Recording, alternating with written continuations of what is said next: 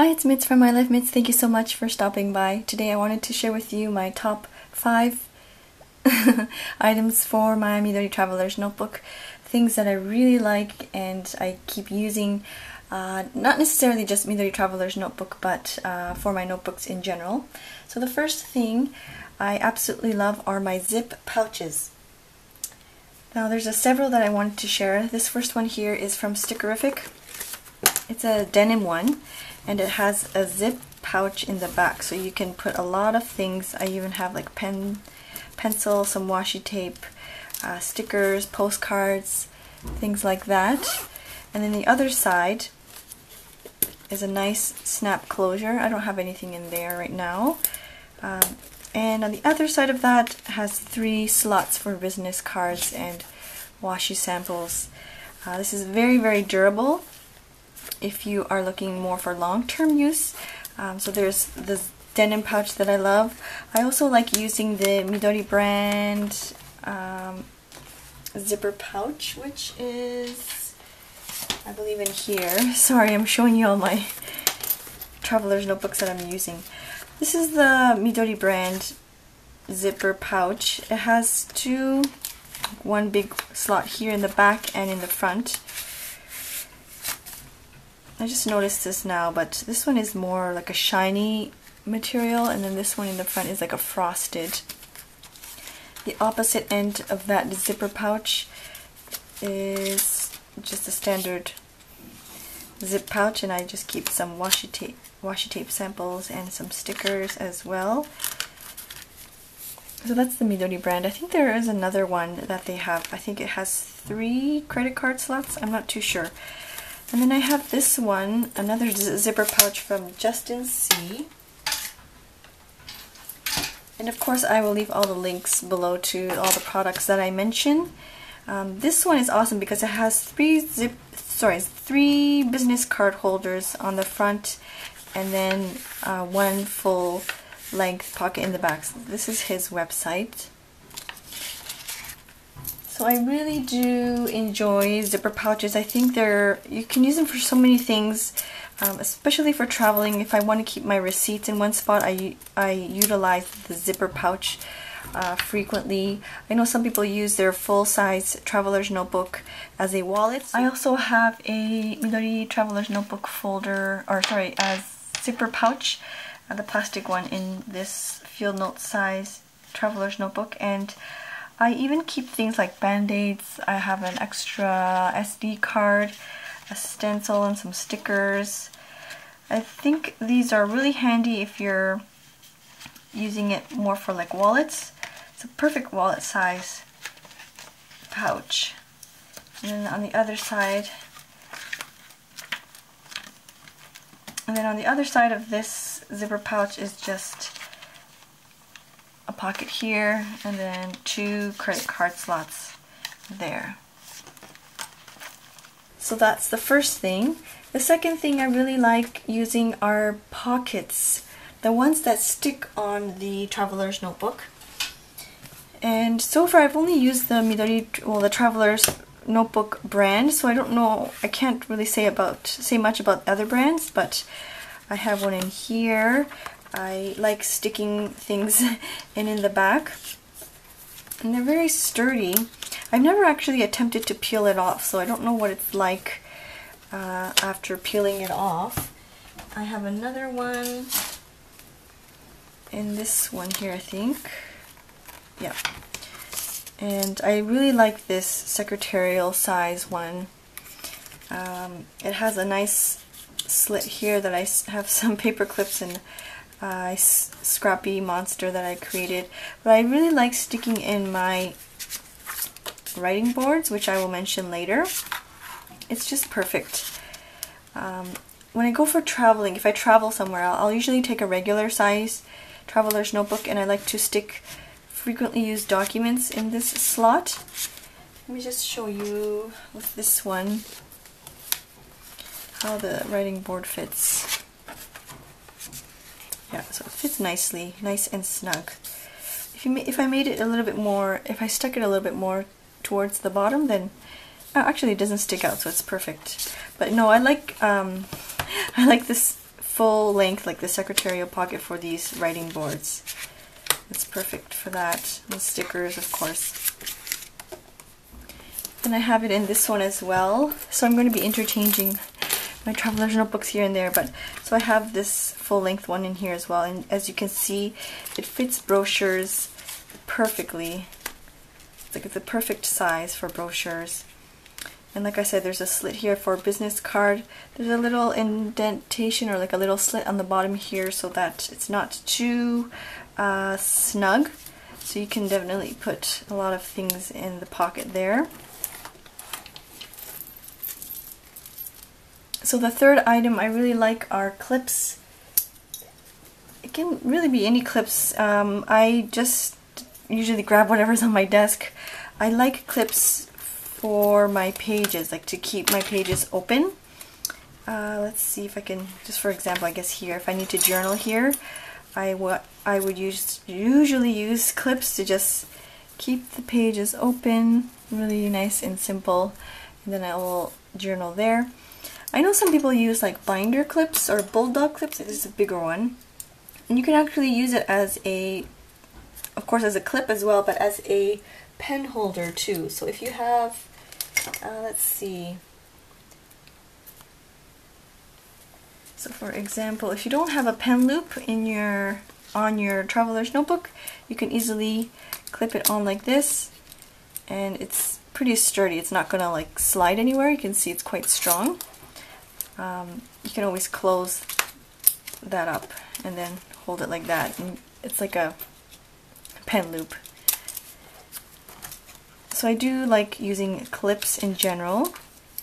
I don't have a favorite type of clip or anything, uh, but I, like I said, I usually just grab whatever's on my desk. So number four are page markers. Uh, I have so many page markers and I think the one that I really enjoy the most are the magnetic ones like the Ollie clip. Let's see if I can show you an example. So here's an example of an ollie clip. I had it clipped open to July. I guess I haven't used this insert since July, but um, so even like a small one like this, it holds quite a bit of paper. I really, really like big ones. Uh, the bigger ollie clips. I have another small one here and it uh, holds my sticker sheets to the front of the page. There's another page marker that I have, the magnetic one. It's not really strong, uh, but you can just clip it to the top here and it kind of sticks out. You can see I have a couple of other page markers uh, that stick out as well. But I do really, really like the magnetic ones. There's a big magnetic one here holding my stickers this spread, uh, the monthly spread, just kind of indicates when I publish a video or make it live and I usually use these stickers from the Reset Girl, yeah, the Reset Girl, and I just stick it on. It's perfect size. Um, and uh, like I said, I like to, and like I said, I like to use the bigger ollie clips as they hold a lot more pages. But even simple, like this one is a really simple page marker that I purchased from Daiso. I think it has 9 or 12 in one pack. Uh, so that's that. And then the last thing I really enjoy is my writing board. Here's the writing board, I think for yeah 2014. Some people make their own using, um, like you can print out your own grid line and then laminate it. I like it um, if I need to write on a flat surface for example, let's say for example, I need to write, I want to do a quote here, but I have like pieces of paper stuck on the back, um, then I can easily put my writing board there and then it creates a nice flat surface. Also, if you're someone that likes to write on lines, the writing board provides you with a nice maybe it's hard to catch on camera, but the writing writing board provides you with a nice guideline uh, for straight lines instead of having to use ruled lined paper. So I do love using the writing board. I know there's several people that sell them on Etsy as well, or you can always make your own. Alright, now on to three honorable mentions that I have. The first one is a folder, and I made my own folder a long time ago and you can easily make your own. Marianne from A Pocket Full of Vintage used to have a six six pocket folder uh, tutorial. I don't know if she, I know she took it down a while back. I'm not sure if it's back up, but if it is, of course, I'll leave a link below. But yeah, you can easily make your own and uh, you can stick in pieces of paper, stickers, receipts, things like that. I think I have another little folder in here as well. This one is from Maggie's Boutique and like I just have pamphlets and things. And I know there's this one has uh, one pocket here and one pocket in the back as well. So this specific one is a four pocket folder. But I think there's people that have six pockets as well. So that's my first honorable mention. The second one uh, will have to probably be stencils. I think I have one in the front here. I love my Hobonichi stencil very much. I use it a lot for these check boxes. Um, I have an extra one in my pocket zipper pouch here. I even have band-aids, some other stickers, but I really like my Hobonichi stencil. There's one from Daiso as well um, that I can use for lettering for like if I want to journal or things like that. Um, this one's from Daiso. Sorry, my other camera died, so I have to use this one. Hopefully it's okay. My third and last honorable mention would have to be bookmarks and charms. The ones I have here are from Willow Muck Sarah Jean. They're so pretty. Like, I just love the different colors of the beads. Uh, these ones are the leather monkey fist bookmarks that I created in my shop. Um, I have a couple here on this one as well. And also, this one is from the Opal Wild, I think. But it's so pretty. Hopefully you can see like the gold tassel and the wooden beads. Yeah, and this this is also leather, I think, um, this part here. But so pretty. I also like to hang them, not on all bookmarks, uh, not on all notebooks, but uh, this one in particular, the Midori Traveler's Notebook, I just have some hanging in the front. And I also like the sound of like the, it makes. This one is from Two Cups Travel on Instagram. Her mother actually made this beautiful charm I have hanging here.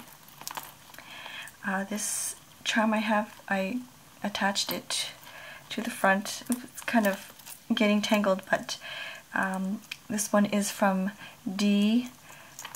I'll post her information uh, Instagram information down below. But yeah, I just like charms and bookmarks. It just adds a little bit of color, pop of color to the notebook. I don't have it. I don't have um, like these type of charms on all of my notebooks, but there's I usually have some kind of bookmark. Um, these ones actually are just hanging from the bottom, more of like a decoration type of thing. Whereas these knot bookmarks are more for function. Um, it kind of tells me where I need to go. So those were my top 5 and 3 honorable mentions for must-have items for my traveler's notebook. I hope you enjoyed watching. I would love to hear what your some of your favorite items are. Please do leave a comment down below. I love reading all of your comments. Uh, I just want to say thank you so very much to my subscribers. If you're a new subscriber, thank you so much for stopping by. If you haven't subscribed already, please feel free to do so. I like to do journal with me type of videos in my Midori Traveler's notebook. I do Hobonichi Techo flip throughs here and there. Sometimes I'll do some DIY things as well. Uh, for upcoming videos, I have filmed a series, like a travel journal series. I went uh, traveling to Hokkaido, which is northern Japan, and I wanted to share my trip with you. So stay stay tuned for that. Uh, anyways, this video has gone long enough.